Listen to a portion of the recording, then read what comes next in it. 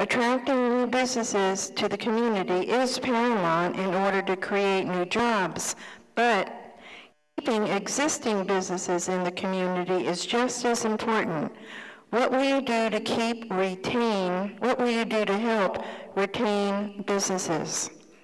I think the first thing we do is we build relationships with these uh, businesses. I was happy to learn that our city manager, Mr. Zapata, actually went out and talked to the president of Madison Marquette, who runs Bayfair, and that was the first time anyone had ever sat down with that gentleman um, without wanting something from him. You know, we should be actively looking for state and federal incentive programs and then help connect our businesses to those opportunities.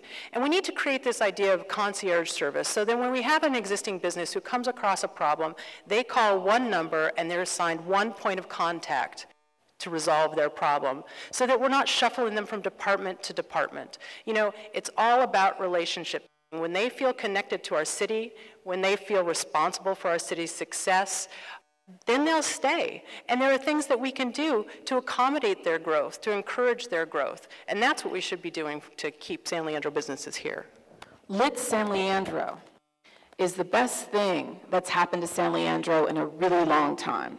Lit San Leandro is a fiber optic loop that's 11 miles long that connects around the city, and it was generated by the funds of Patrick Kennedy, almost as a gift to our city already had conduit underground that was connecting to the BART tracks.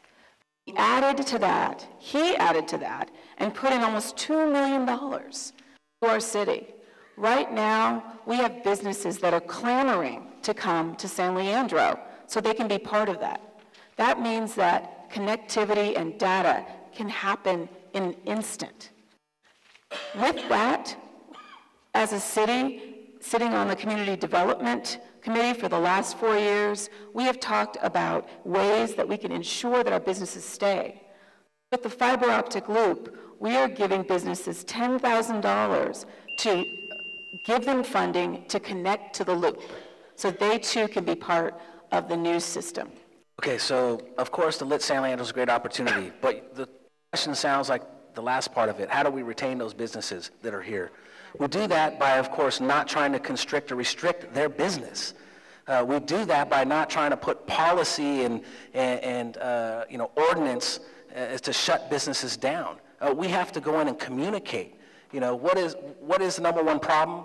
Once again, it is perception. It's lack of marketing. Our city should be marketing. I would lead a campaign that would utilize, that would utilize city resources and also ask the businesses to come into a co-op marketing program and we start advertising the businesses in town on radio, print, and web.